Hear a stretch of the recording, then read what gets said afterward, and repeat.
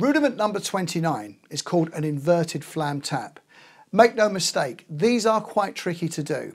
The best way that I can describe it is by playing an inverted paradiddle and placing a flam every two beats.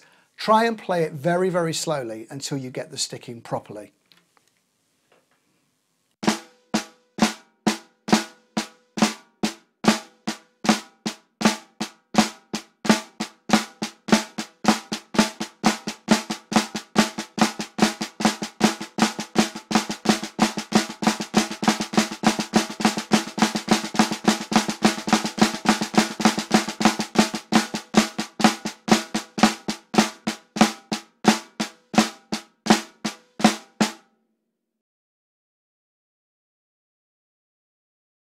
One, two, three, four.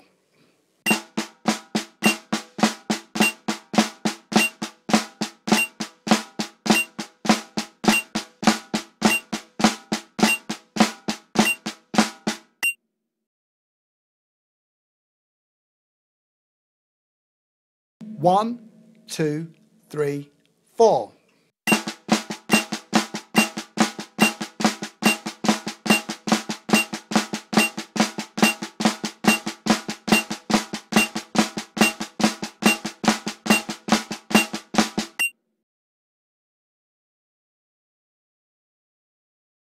One, two, three, four.